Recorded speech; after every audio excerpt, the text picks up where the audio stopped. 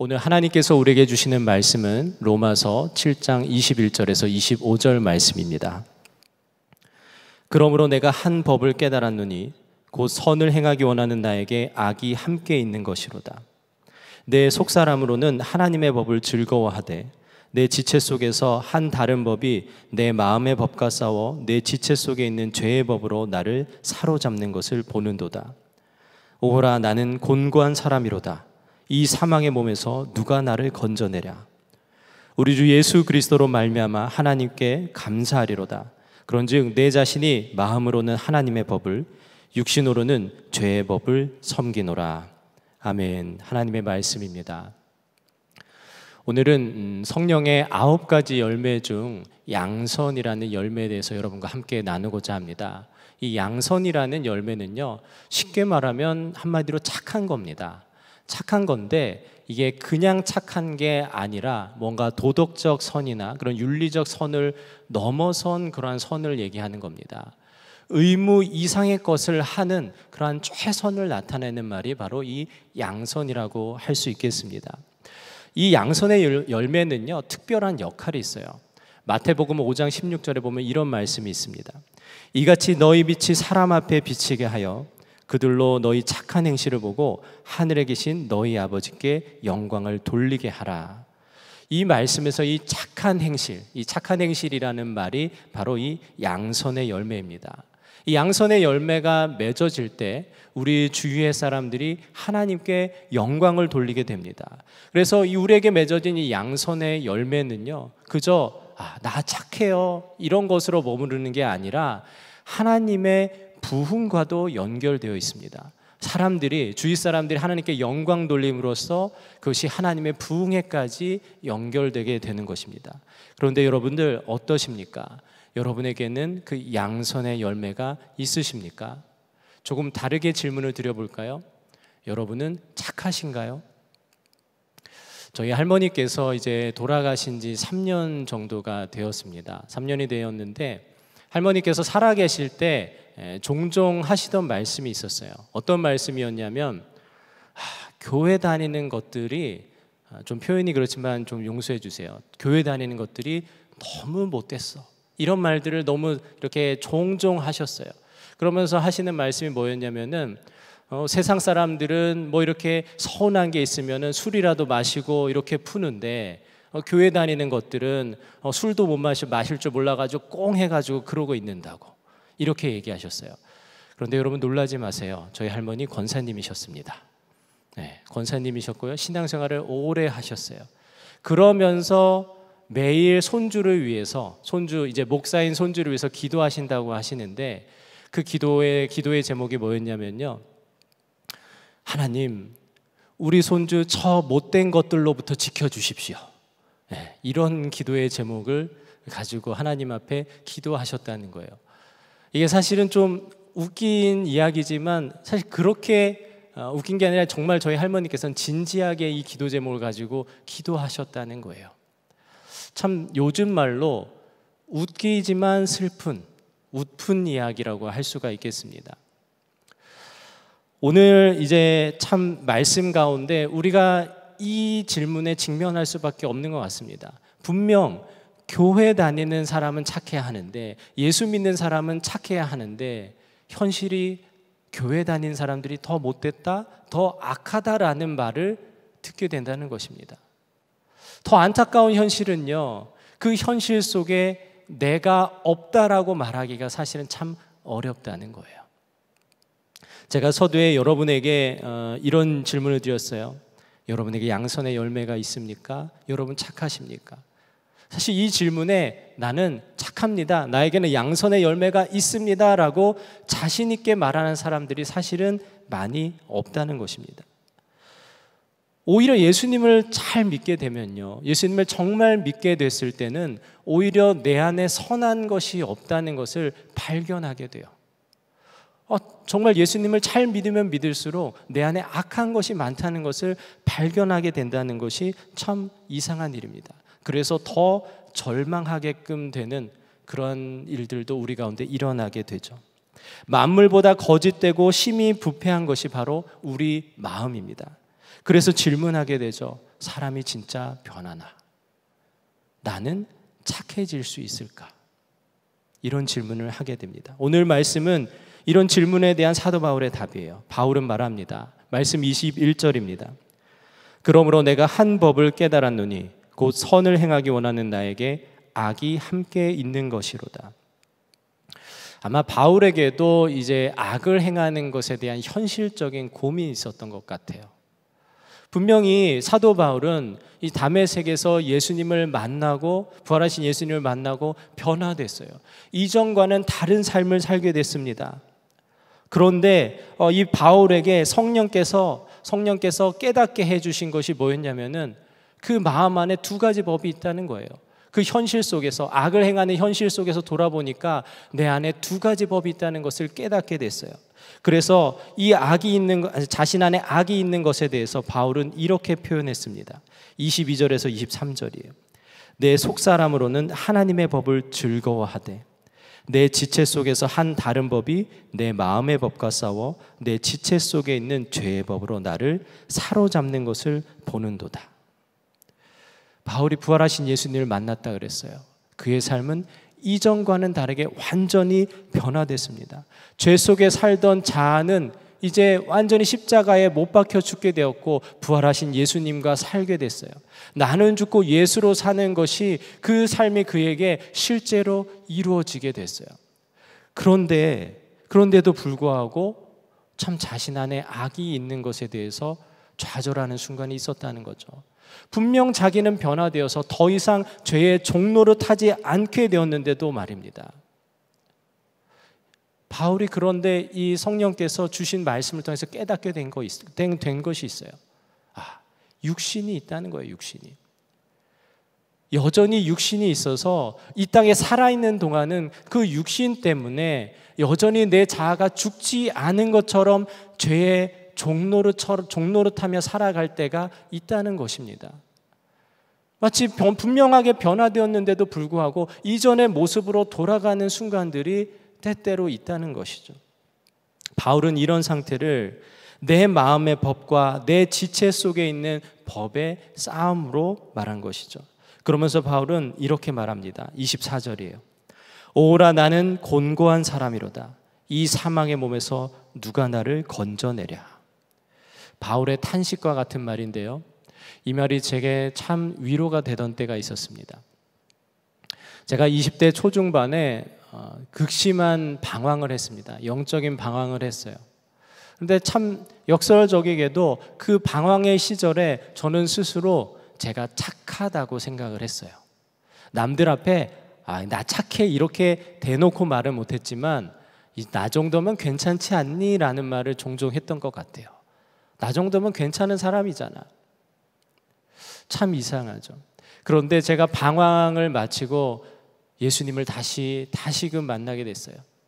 주님을 다시 찾고 신앙이 회복되기 시작하면서 참 기쁜 일도 많았습니다. 그 이전에 느끼지 못했던 다시 돌아왔을 때, 탕자가 돌아왔을 때 그 느낌이 뭔지를 조금이나마 알 것 같았어요. 제게 놀라운 변화가 일어났고 제 삶에 기쁨이 생겨나기 시작했어요. 그런데 너무나 신기하게도 그와 정반대의 것 때문에 제가 괴로움을 느끼게 됐어요. 예수님을 믿으면 믿을수록 예수님과 친밀한 관계를 이루면 이룰수록 제 안에 죄가 가득하다는 것, 제 안에 악이 가득하다는 것을 마주하게 되는 거예요. 분명 예수님을 믿어서 나는 나는 의인으로 변화되었는데 여전히 나는 음란하고 여전히 내 안에 내 안에는 탐심이 가득하고 여전히 내 안에는 교만이 가득한 것을 마주하게 되는 그런 순간들이 있었습니다. 사도 바울이 자신을 가리켜서 나는 죄인 중에 괴수라고 말했는데 사실 그 표현이 제게 더 어울리다라는 생각을 가면 갈수록 하게 되는 거예요. 뭐 악해봤자 얼마나 악하겠어라고 하실지 모르겠지만 제 실제는 그랬어요. 제가 마주하는 제 모습은 마치 거울로 볼 때 하나님의 말씀 앞에 나를 거울로 비춰볼 때 그 좌절감이란 참 이루 말할 수 없었습니다. 너무나 힘든 순간들이 있었어요. 그 사실이 너무나 괴로워서 때로는 좀 포기하고 싶을 때도 있었습니다. 심지어 그리스도인인 것이 저주처럼 느껴질 때가 있었어요. 그래서 이 사도 바울의 이 탄식과 같은 이 고백을 마주했을 때 아, 이것 자체로 위로가 되는 거예요. 아, 바울 같은 사람도 바울 같이 대단한 사람도 이렇게 죄와 싸우는 것이 힘들었구나. 자기의 자기 안에 악이 가득하다는 그 현실 앞에서 어려워했구나. 이런 생각을 했었습니다. 그런데 오늘 이 말씀을 묵상하다가 이 말씀 오호라 나는 곤고한 사람이로다라는 이 표현이 그저 바울의 탄식만을 나타내는 것이 아니라는 것을 깨닫게 됐습니다. 말씀 마지막 25절에 보면 이런 말씀이 있어요. 우리 주 예수 그리스도로 말미암아 하나님께 감사하리로다. 탄식했는데 방금 전까지 탄식했는데 탄식 뒤에 감사가 나오는 거예요. 쉽게 말하면은 아, 도대체가 난 이렇게 사는 게 너무 힘들어 죽겠어. 누가 날 이 사망의 몸에서 건져내겠어. 이렇게 얘기하면서 그렇지만 감사해. 예수님 때문에 감사해. 뭔가 사실은 두 개가 연결되는 것 같지가 않아요. 두, 개, 두 개가 완전히 반대되는 것 같아요. 어떻게 이렇게 반대되는 표현이 나올 수 있을까요? 여기서 우리 그리스도인들이 성령의 열매를 맺는 신비가 나타납니다. 여러분 너무나 잘 아시는 요한복음 15장 5절의 말씀 아시죠? 포도나무 비유 이렇게 예수님께서 말씀하셨어요. 나는 포도나무요 너희는 가지라. 그가 내 안에 내가 그 안에 거하면 사람이 열매를 많이 맺나니 나를 떠나서는 너희가 아무것도 할 수 없습니다. 여러분, 우리는 가지입니다. 가지가 줄기에 붙어 있으면 어떻게 돼요? 열매가 맺어지죠. 이거는 당연한 일이에요. 그렇죠? 그런데 반대로 가지가 이제 줄기에서 떨어지면 어떻게 되죠? 열매를 맺을 수 있나요? 없어요. 이것 또한 당연한 일이에요. 여러분, 이 당연한 것이 깨달아지는 은혜가 있기를 축복합니다. 우리는 스스로 열매를 맺을 수 없어요. 만약에 나무라면 나무가 열매를 맺을 수 없다면 그게 좌절할 만한 일이죠. 나무가 열매를 맺지 못하는 것은 정말 최악의 일이죠. 절망할 만한 일이에요. 그런데 여러분, 가지가 스스로 열매를 맺지 못하는 것이 절망할 만한 일입니까? 아니에요. 가지가 열매 맺지 못하는 것은 당연한 것입니다. 그 자체가 당연한 거예요. 그래서 이것은 절망할 일이 아닙니다. 오히려 소망이 돼요. 왜냐하면 가진 우리가 줄기에 붙어 있기만 하면 줄기에 접붙임 되면 열매가 맺어지니까요. 이 사실을 깨닫게 되니까 바울의 탄식이 다르게 들려요. 바울의 탄식 이전에는 아, 정말 난 죽겠어. 이러면 이렇게 어, 평생 이렇게 살아야 되는 게 너무 힘들어. 이렇게만 들렸던 이 말씀이 이렇게 바뀌는 거예요. 나 스스로 이 사망의 몸에서 건져낼 수 없습니다. 그런데 이것은 당연한 거예요. 당연한 일이에요. 어떻게 내 힘으로 내 이 사망의 몸에서 건져낼 수 있겠습니까? 그런데 우리 주 예수 그리스도께서 나를 건져내실 수 있습니다. 능히 건져내실 수 있습니다. 그렇기 때문에 나는 주 예수 그리스도로 말미암아 하나님께 감사합니다. 이 고백으로 변화되는 겁니다. 절망의 탄식이 아니에요. 분명 나에 대해서는 절망했습니다. 나로서는 도저히 사망의 몸에서 건져낼 수 없고 나에게는 열매를 맺을 능력이 없습니다. 그럼에도 불구하고 그 이것은 우리에게 절망의 끝이 아닌 소망의 시작이 되는 것입니다. 순회선교단에서 하는 복음학교에 가면 이 나의 복음이라는 것을 나누는 시간이 있어요. 예수 그리스도의 그 십자가 앞에 자신의 죄를 꺼내놓고 많은 사람들 앞에서 공개적으로 죄를 자백하고 회개하는 그러한 시간입니다. 제가 사실 이, 나의 복음 시간에 처음 마주하기 전에는요 너무 부정적인 생각이 가득했어요. 아, 도대체 나는 주님 앞에서 죄를 다 회개했는데 굳이 회개했던 죄를 다시 끄집어내 가지고 그걸 모든 사람 앞에서 그걸 다 얘기해야 되나? 뭐하러 그렇게 하지? 또 다른 사람들이 죄를 그렇게 고백하는 것에 대해서도 아니 과연 이런 죄를 어, 사실에 자, 사실 누구한테도 말하고 싶지 않은 주님께만 꺼내놓고 싶은 이 죄를 공개적으로 자백해서 하는 게 과연 그 당사자들에게 어떠한 도움이 될까 이런 생각을 했었습니다. 그런 생각을 하다가 나의 복음 시간을 마주하게 됐어요. 그런데 참 놀랍게도 그런 부정적인 생각들이 사라지기 시작했어요. 사람들이 고백하는 죄는요, 사실 이 강단에서 단 하나도 나눌 수 없을 정도의 너무나도 끔찍한 죄였어요. 어떻게 사람들이 이런 죄를 지으면서 살 수 있지 싶은 것들이 너무나 많았습니다. 그런데 참 놀라운 것은요, 그 죄의 고백들을 한 명씩 한 명씩 나와서 듣는데 마음이 너무 아픈 거예요. 정말 눈물이 계속해서 흘러요.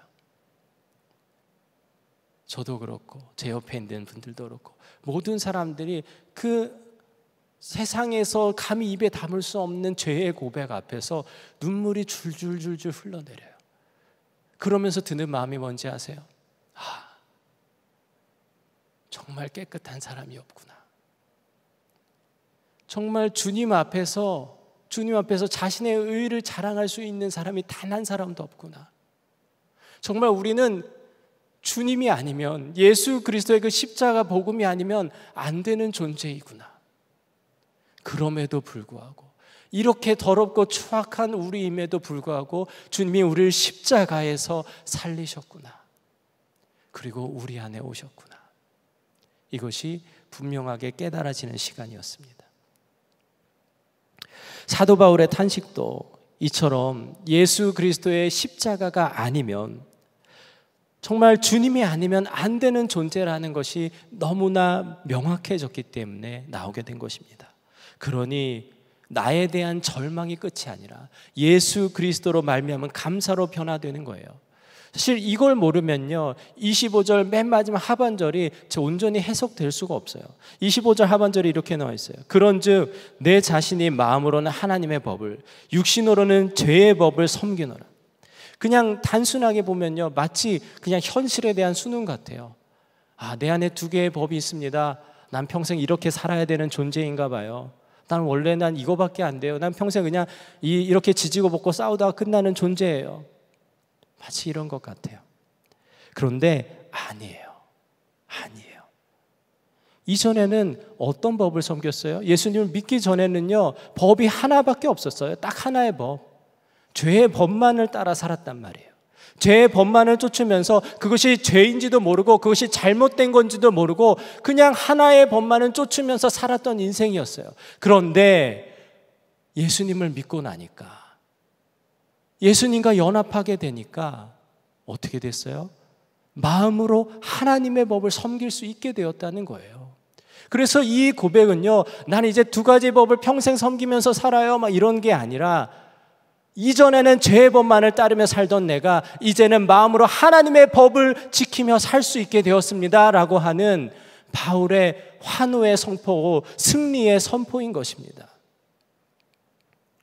이제 열매 맺을 수 있게 되는 것 되었다는 거예요. 예전에는 열매 맺을 수 없는 존재였는데 이제 나는 열매를 맺을 수 있는 존재가 되었습니다. 이제 내게 양손의 열매가 맺어질 수 있게 되었습니다 라는 고백입니다. 여러분 예수님이 우리를 사망의 몸에서 건져 주십니다. 예수님이 우리로 하여금 양선의 열매를 맺게 하십니다. 그렇지만 오해하지 말아야 할 것이 하나 있어요. 뭐냐면 그렇다고 해서 내가 완전하게 선한 존재가 된다는 말은 아니에요. 적어도 이 땅에 사는 동안은요, 우리는 여전히 육신을 가진 채로 살아요. 여전히 우리의 죄인의 모습이 우리에게 있어요. 그래서 마틴 루터는 그리스도인을 가리켜서 의인이면서 동시에 죄인이라는 표현을 썼습니다. 그런 존재인 우리가 예수님을 믿고 예수님을 예수님과 동행하면서 친밀한 관계를 이루니까 가진 우리가 참 포도나무이신 예수님과 연합하니까 내 안에 계신 예수님이 열매로 나타나게 된다는 거예요. 팀 한셀이라는 사람이 하나님이 기뻐하시는 열정 성공 리더십이라는 책에서 10년 만에 만난 친구 이야기를 합니다. 자기 친구를 10년 만에 만났는데 그 전에도 이 친구가 참 예수님을 잘 믿는 그리스도인이었어요. 그런데 10년 만에 만났는데 더 충만한 그리스도인이 되어 있었다는 거예요.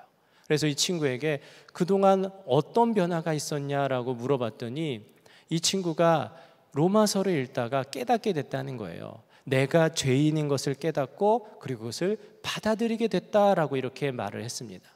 그러면서 덧붙인 것이 있는데 제가 읽어 드릴게요.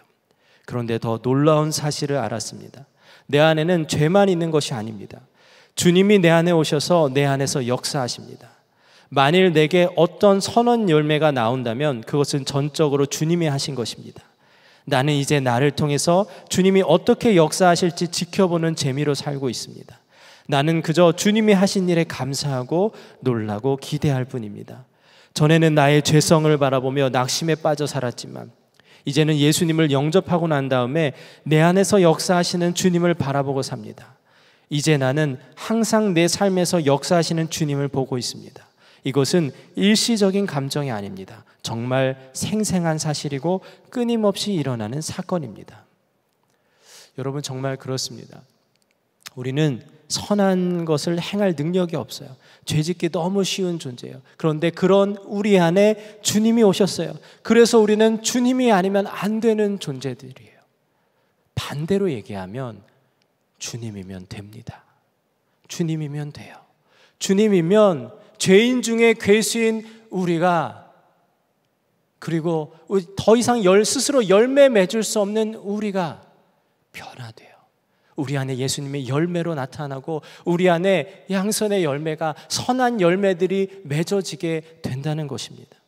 그렇기 때문에 주 안에서 사람은 바뀝니다. 그렇기 때문에 우리가 양선의 열매를 맺기 위해서 해야 할 것은 딱 하나입니다. 주님과 친밀한 연합을 이루는 것. 주님과의 친밀한 동행, 바로 그것입니다.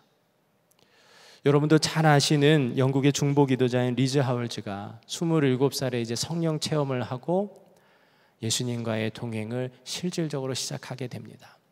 매일 주님의 음성을 듣고 주님의 인도하심을 따라가는 삶을 살게 돼요. 어, 그 동, 그가 살던 동네에 짐 스테이크스라는 사람이 살고 있었습니다. 근데 이 짐 스테이크스라는 사람이 어, 소위 말하면 그냥 동네에서 소문난 그냥 못된 사람이에요. 못된 사람. 얼마나 못되고 악한 사람이었냐면은 사람들이 이런 표현을 했습니다. 짐 스테이크스가 못하는 것은 마귀도 못할 거다. 쉽게 말하면 마귀보다 더한 놈이다라는 얘기예요. 그는 알코올 중독자였어요. 술고래였어요. 그것 때문에 가산을 다 탕진했습니다. 가난에 찌들어서 살았어요. 근데 참 놀랍게도 그 동네에 일어난 대부흥 기간에 이짐 스테이크스라는 사람이 교회에 구원 얻기 위해서 제발로 찾아오는 역사가 있었습니다. 사람들이 모두가 놀랐죠. 그 일이 있고 난 후에 어느 날 이 리자 헐즈가 아침에 기도를 하고 있었어요. 하나님께 기도하고 있는데 환상 중에 이 짐 스테이크스라는 이 사람이 자기 앞에 서 있는 것을 보게 된 겁니다. 그러면서 아 주님이 이 사람을 위해서 기도하라는구나라는 것을 알아듣고 이 사람을 위해서 한 시간 동안 기도했어요. 기도하면서 마지막에 주님께 이런 기도를 하게 됩니다. 주님, 이 짐 스테이크스가 주님 안에만 거할 수 있다면 제가 그 어떠한 일이라도 하겠습니다. 이런 기도를 한 거죠. 그런데 참 놀랍게도 그날 밤에 이 짐 스테이크스가 리자월즈를 찾아와요. 어, 찾아와 가지고는 더 놀라운 얘기를 하는 거예요. 이제 이 짐 스테이크스가 탄광에서 일을 하는데 오전 10시에 예, 아침에 갑자기 눈에 눈앞에 리즈 하월즈가 앞에 와 서 있는 모습을 보게 됐다는 거예요. 그러면서 주님께서 이런 마음을 주시는 것 같다라는 거예요. 리즈 하월즈를 찾아가 봐라. 그래서 일을 마치고 이제 리즈 하월즈를 찾아왔다는 거예요. 그래서 리즈 하월즈가 물어봤어요. 어, 어떤 도움이 혹시 필요하세요? 무슨 일이 있으십니까? 이렇게 물어봤더니 짐 스테이크스가 말하기를 아, 사실은 방세가 2년치가 밀렸습니다. 오늘 아침에 집주인이 집에 와서 가구에다가 이 차압딱지를 붙이고 갔습니다.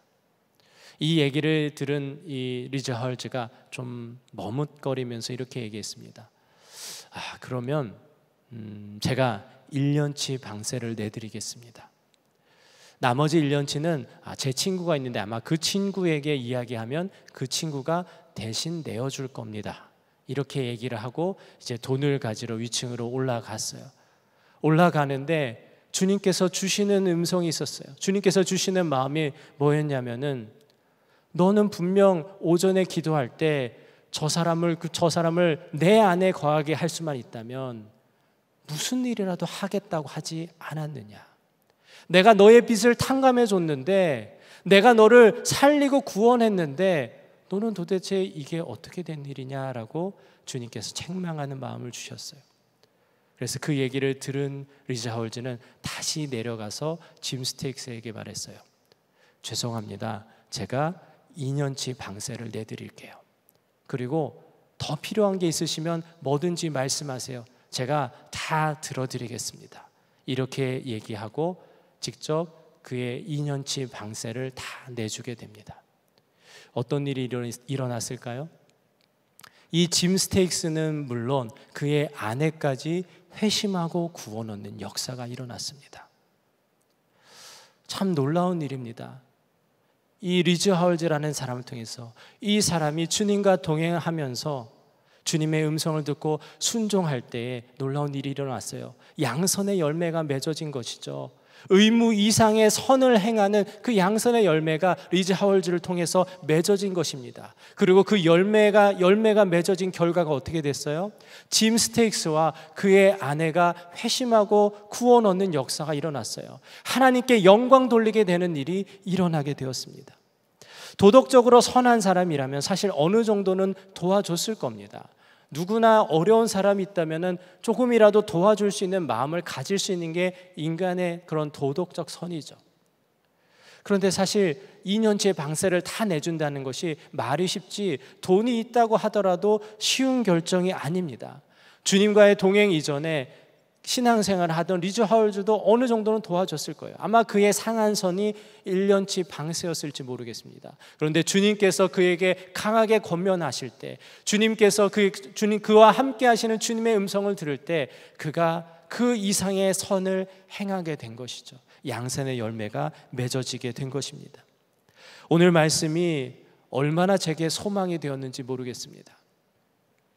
매번 바울의 절망 섞인 탄식으로만 여겼는데 오늘 말씀을 통해서 제 생각이 완전하게 바뀌었어요. 제 안에 악이 있는 것을 제가 죄짓고 사는 것을 당연하게만 여겼는데 그, 근데 그걸로 그치는 것이 아니라는 것을 분명하게 알게 되었습니다. 주님과의 동행을 통해서 이런 나도 이렇게 선한 것이 없는 나도 주님과의 동행을 통해 열매를 맺을 수 있구나. 내가 양선의 열매를 맺을 수 있구나. 이것이 제게 실제가 되었습니다. 그래서 오늘 사도 바울의 25절의 고백을 제 고백으로 여기고 이렇게 선포하고 싶습니다. 우리 주 예수 그리스도로 말미암아 내게 양선의 열매를 맺게 하신 하나님께 감사하리로다. 아멘. 여러분도 함께 고백해 보시지 않으시겠습니까? 우리 함께 고백해 보겠습니다. 시작. 우리 주 예수 그리스도로 말미암아 내게 양선의 열매를 맺게 하신 하나님께 감사하리로다. 이 고백이 저와 여러분의 고백이 되기 원합니다. 사랑하는 성도 여러분, 내 안에 선한 것이 없어서 내 안에 악이 가득해서 절망 가운데 계시는 분들 계십니까? 괜찮습니다. 우리가 원래 원래 그런 존재예요. 하지만 거기서 머무르지 않길 원합니다. 주님께서 오늘 여러분들을 주님과의 그 친밀한 연합 가운데로 부르십니다. 그 연합 가운데로 부르시고 이 사망의 몸에서 어떻게 나를 건져내겠습니까? 라는 고백에 머물러 있는 것이 아니라 우리 주 예수 그리스도로 말미암아 감사하리로다 하나님께 감사하리로다라는 고백을 할 수 있도록 우리 가운데 그 양선의 열매를 맺어 가십니다. 그 선하신 하나님 우리에게 놀라운 열매를 맺어가시는 그 주님과의 연합이 여러분 가운데 실제가 되시길 축복합니다. 그 안에서 놀라운 양선의 열매를 많이 맺고 그 열매를 통해서 수많은 이들이 하나님께 영광 돌리는 하나님의 부흥이 일어나기를 주님의 이름으로 간절히 축복합니다. 이 시간 우리 함께 마음을 담아서 주님 앞에 찬양하고 기도하기 원합니다. 아, 특별히 여러분 주님께서 주시는 마음이 있으시다면 여러분 있는 자리에서 무릎을 꿇고 찬양하고 기도했으면 좋겠습니다. 여러분 가정에서 어떠한 상황인지 어떠한 자리든지 혹은 차 안에서라든지 여러분 하나님 앞에 정말 간절한 내 마음을 드립니다라는 마음으로 여러분 무릎을 꿇고 함께 찬양하고 기도하기 원합니다. 우리 함께 찬양하시겠습니다.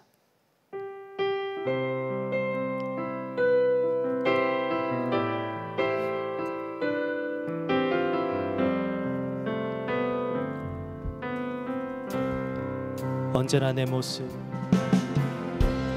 언제나 내 모습.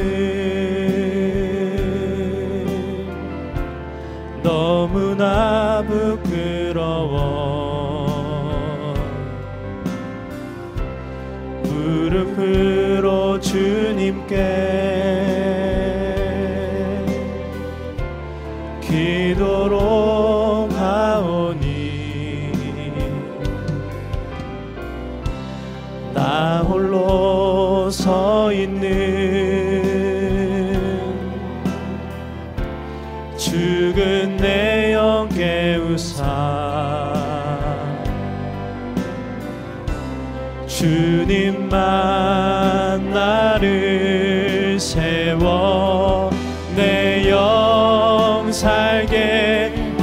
하소서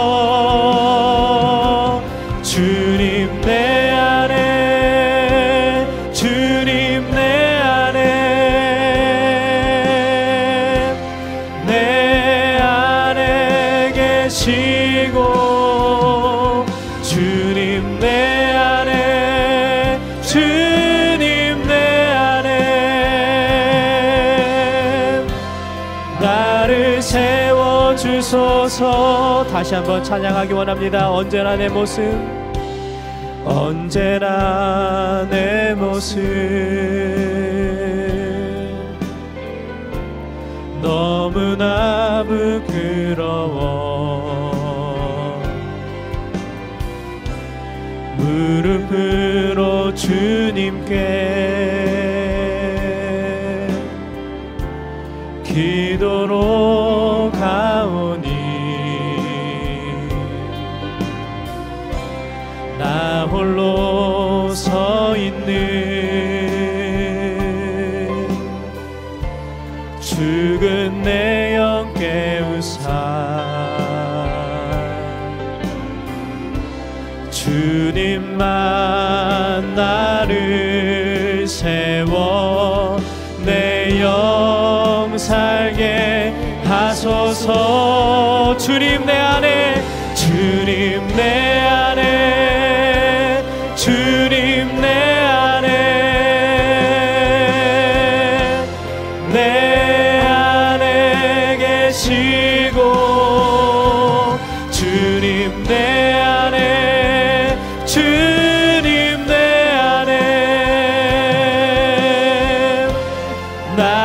세워 주소서. 주님 내 안에 주님 내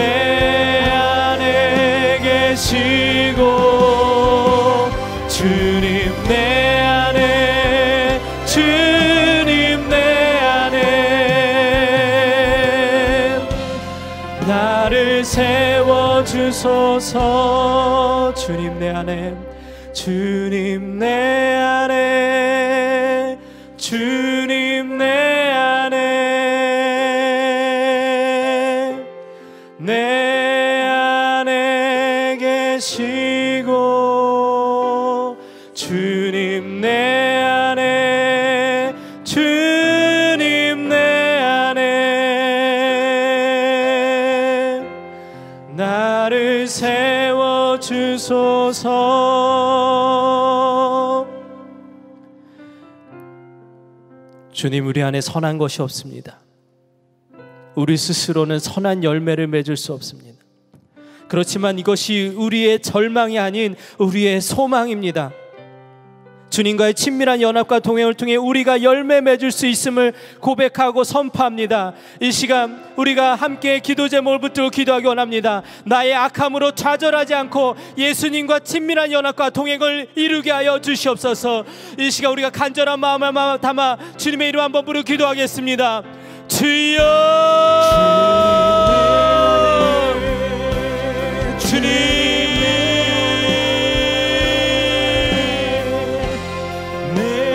선한 것이 하나도 없습니다. 내 안에 선한 것이 하나도 없습니다.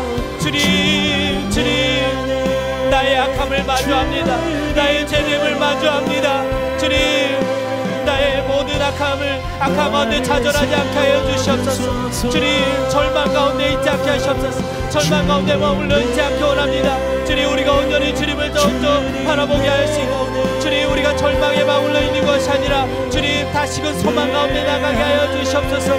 주님이면 됩니다. 주님이면 됩니다. 주님으로 인해서 주님으로 인해서 모든 것이 가능합니다. 주님을 인하여 내가 열매 맺을 수 있습니다. 주님을 인하여 내게 선한 일을 행할 능력이 주어집니다 주님을 인하여 주님 주님이 드러나게 됩니다. 주님 오늘에 우리가 더욱더 깨닫기 원합니다. 주님 주님 영 주님과의 연합이 더욱더 실제가 되게 하여 주시옵소서. 주님과의 집이란 동에 더욱더 우리 가운데 이루어지게 하여 주시옵소서. 주님 우리가 좌절하지 않고 이 소망 가운데 나가게 하여 주시옵소서. 주님과의 동행을 통하여 놀라운 소망 가운데 거하게 하시고 놀라운 기쁨 가운데 거하게 하시고 주님 절망 속에 좌절하는 것을 넘어가서 놀라운 주의 은혜를 더욱더 맛보게 하여 주시옵소서 주께서 역사하실 것을 기대합니다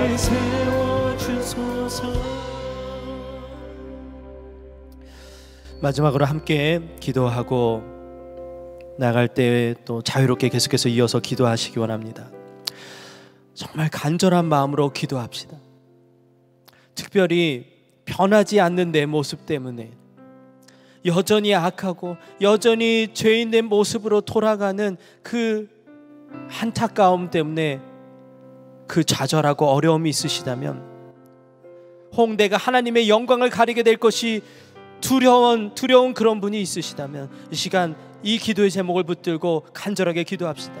내 삶에 많은 양선의 열매가 맺어져서 나를 통해 많은 이들이 하나님께 영광 돌리는 부흥을 경험하게 하소서.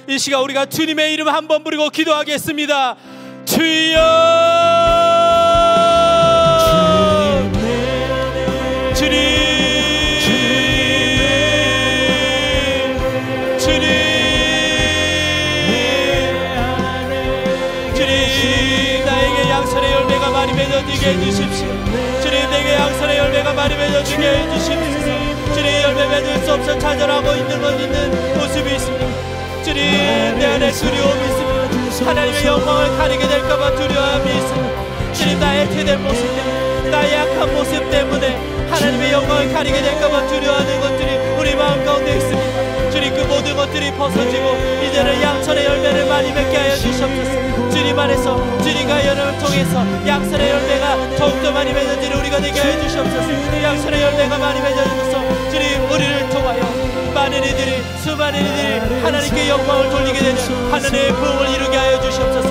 하나님의 놀라운 복이 우리 삶 가운데 이루어지기를 소망합니다.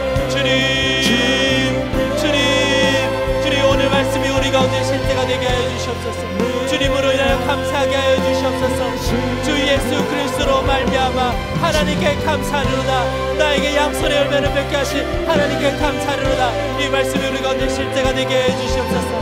나에게 많은 열매가 맺어지고 주님 그 가운데 놀라운 주의 역사 일어나게 하시옵소서. 하나님의 부흥이 주님 우리 삶 가운데 일어나게 해 주시옵소서. 주님 주께서 주께서 그 일을 행하실 것을 기대합니다. 주께서 그 일을 행하실 것을 기대합니다. 주님 절망 가운데 좌절하지 않게 하소서. 절망 가운데 머물러 있지 않게 하소서 주님께서 주신 그 선함과 하나님의 놀라운 부흥 가운데 주님 그 부르신 가운데 우리가 믿음으로 나아가게 하여 주시옵소서. 놀라운 열매가 맺어지게 하여 주시옵소서. 주님 역사하여 주시옵소서. 주여 일하여 주시옵소서. 주께서 친히 일하여 주신 것을 기도합니다 주님.